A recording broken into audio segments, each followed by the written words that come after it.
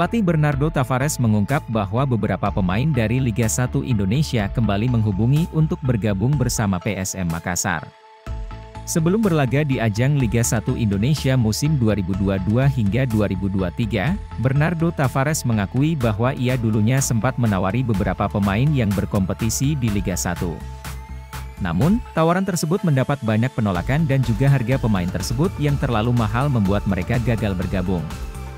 Hal tersebut diungkapkan pelatih asal Portugal ini di salah satu wawancara eksklusif di channel YouTube Chandra Margatama. And this is our reality. And uh, I remember we tried to sign many players from from Liga Satu, and nobody want to come, or they are too much expensive.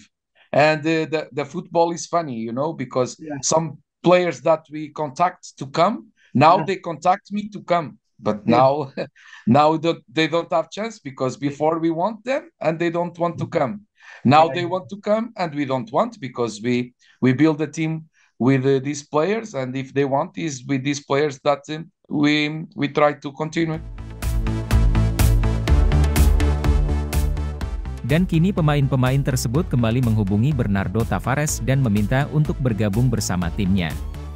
Namun, pelatih berusia 42 tahun itu mengaku tidak ada kesempatan lagi bagi para pemain ini untuk kembali bergabung. Alasannya karena mereka sebelumnya sudah menolak ajakan Bernardo Tavares dan kesempatan kedua tidak dia berikan untuk pemain-pemain tersebut.